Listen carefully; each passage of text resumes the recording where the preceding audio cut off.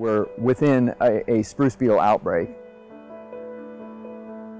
This year we recorded six, uh, well, about 593,000 acres of, of active spruce beetle damage. Well, spruce beetle is uh, a native insect here in Alaska. They're about a quarter of an inch long. Um, they're one of our one of our two uh, primary spruce killing bark beetles. If, if you peel the, peel the bark off, you'll see these tunnels under the bark.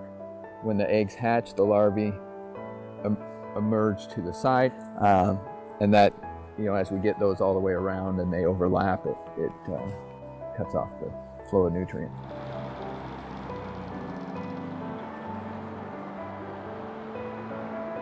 There could be several factors involved. A changing climate certainly can impact spruce beetle activity, depending on what time of year those warmer or, or cooler temperatures occur and things. Um, can impact whether we see a two-year life cycle beetle or beetles that have a one-year life cycle, um, which can allow for higher uh, population buildups uh, much quicker.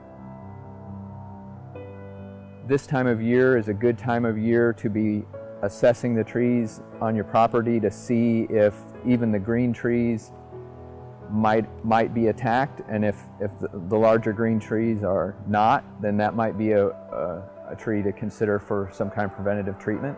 But it's it's important to keep in mind that those those prevention treatments are going to only be um, for trees that are not already attacked.